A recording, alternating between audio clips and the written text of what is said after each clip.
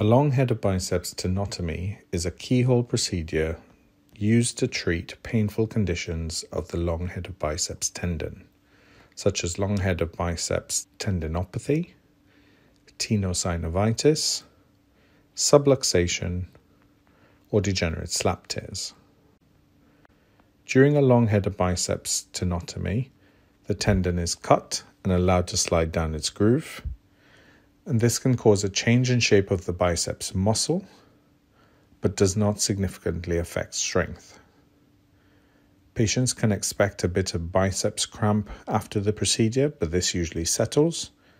and recovery is quick with only 24 hours in a sling and early physiotherapy to regain motion.